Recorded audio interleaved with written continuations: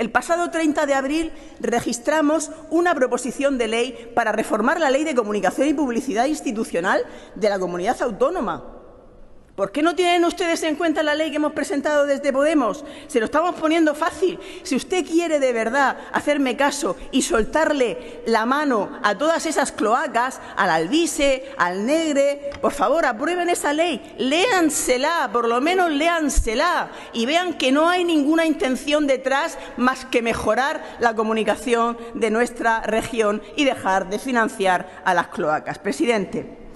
Yo le soy sincera, no tengo una gran confianza en que lo vaya a hacer usted.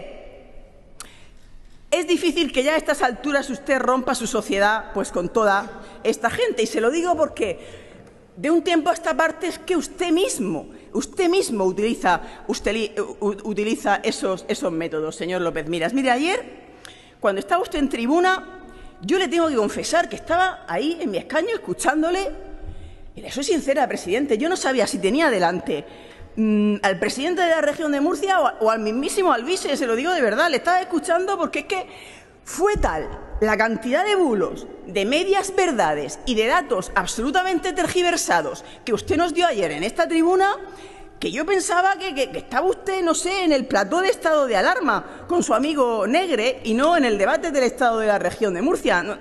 presidente, eh, de verdad.